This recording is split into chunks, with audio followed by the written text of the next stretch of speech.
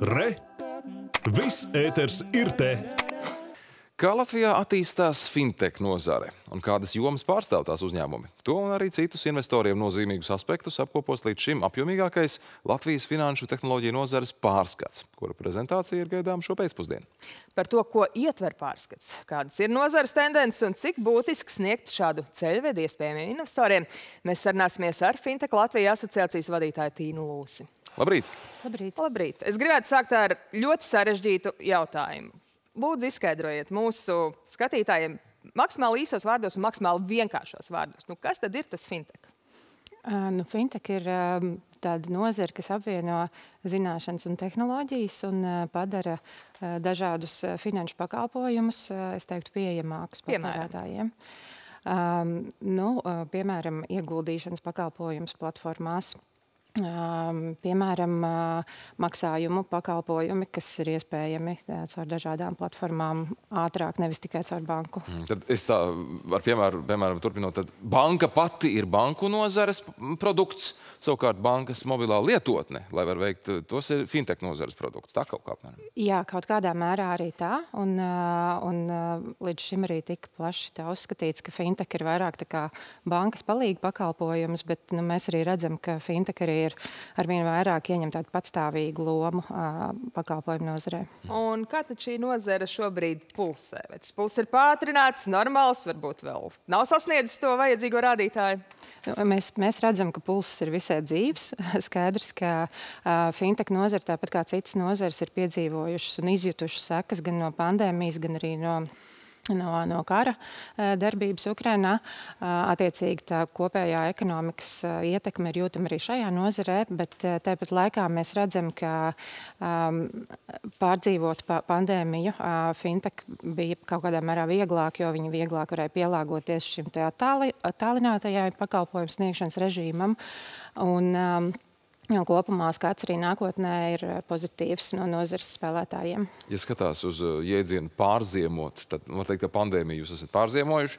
Nu tā, eh, kopumā veiksmīgi, kā ir ar to aktuālo ziemu un tas, kas šai ziemai ir svarīgi. Nu, bez šaubām apkur ir ikvienam droši vien sēdot arī fintech nozarē siltās telpās jādomā par to, bet tai pašā laikā nav noteikti masveidīgas ražošanas iekārtas, kur ir vajadzīgi plaši resursi. Nu jā, visticamāk, ka šādā ziņā nozarē kā tādai droši vien ir nedaudz vieglāk pielāgoties. Un, un, un arī šī pandēmijas pieredze rādīja, ka, ka nozara spēja pielāgoties, pārdzīvot arī tādus grūtākus apstākļus. Un, un jāsaka, ka nozarē tiešām strādā ļoti radoši un gudri cilvēki un, un, un noteikti pārdzīvos arī šo krīzi. Nu, jāteic gan, ka šai nozarei nu, tādi brīdinājumi signāli arī par to ir iedegti, domājot par Ukrainā notiekošo karu, par Krieviju, par pret Krieviju noteiktajām sankcijām, jo ik pa laikam parādās ziņas par to, ka Krievija izmanto tieši kriptovalūtas, kas ir viens no teiksim, tā, fintech produktiem, lai apietu šīs uh, sankcijas. Cik uh, vispār stingri šobrīd ir iespējams šo nozari kontrolēt, kā panākt, lai tas, kas ir sankcionēts, arī tāds arī paliktu, vai to vispār var panākt? Jā, nu, Latvijā tieši kripto dalībnieku skaits nav ļoti izteikts. Šajā ziņā Lietuva un Igaunija ir stipri priekšā.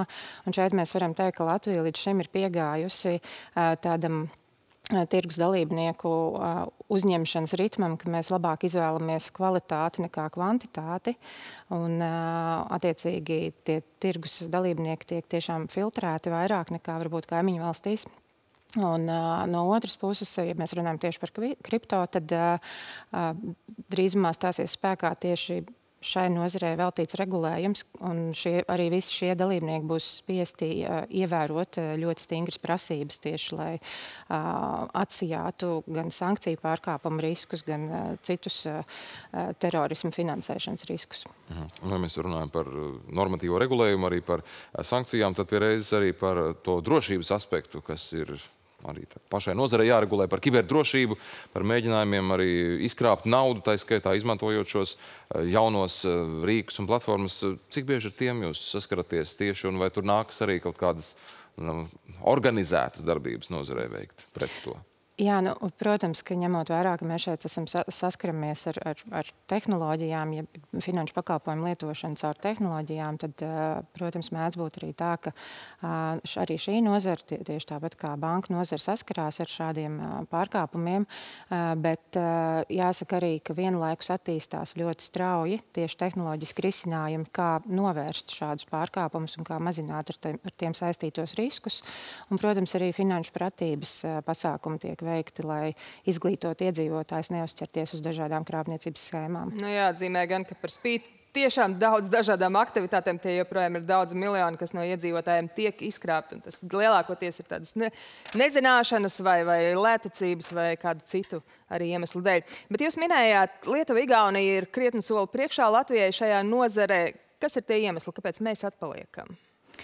Uh, nu, kā jau es teicu, viens no tiem iemesliem uh, droši vien ir, uh, ir, ir tas, ka mums ir tāds stingrāk pieeja bijusi licenču izsniegšanā. Tas ir arī saistīts ar šo finanšu tirgus kapitālo remontu? Jā, tas noteikti ir saistīts arī ar finanšu tirgus kapitālo remontu, bet no otras puses tas šobrīd mūs nostāda kaut kādā ziņā tādā priekšrocību pozīcijā, jo mūsu regulējums šobrīd ir sakārtots, mūsu regulators ir transformējies un, un fintech, noz, nu, fintech nozares atsauksmes šobrīd par regulātoru ir tādas, ka strādāt ar regulātoru ir strādāt tāpat kā ar vēl vienu fintechu, tikai publiskajā nozarē, kas ir nu, tāds reti dzirdēts kompliments par kādu no regulātoriem. Un šādā ziņā mēs šobrīd esam tādā labā starta pozīcijā, lai tajā brīdī, kad visur pasaulē stāsies spēkā Eiropā stāsies spēkā specifisks regulējums, piemēram, tām pašām kriptovalūtām. Mūsu vide jau īstenībā ir sakārtot, un kamēr varbūt citām valstīm nāksies pacelt to ierobežojumu slieksni, mēs būsim jau spējīgi ņemt pretī jaunus tirgus dalībniekus daudz brīvāk. Tad būtiskais jautājums, kas šobrīd ir svarīgi, ko izdarīt no Latvijas kā valsts puses, lai tad uz šajā labajā starta pozīcijā mēs patiešām varētu arī uh, labi nostartēt, nevis tikai tur palikt? Turpināt pārskatīt uh, un, un, un padarīt tādus uh, vieglākus šos licencēšanas procesus, uh, tādus operatīvākus un dinamiskākus, un, un sakārtot fintech tirgus pieeju maksājumu infrastruktūrai, kas ir tāds nedaudz tehnisks termins, bet šobrīd salīdzinājumā ar Lietuvu, piemēram, mūsu fintechi maksājumu infrastruktūrai piekļūst tikai caur komercbankām, kamēr Lietuvā tas notiek savādāk. Un, un tas ir tas, ko nozares eksperti norāda, ka arī mēs tur varētu uzlabot. Bet nu, ik viens teksts, ja, arī fintechs, tā skaitā ir saistīts ar cilvēku resursu un ar cilvēku vērtību kā tādu.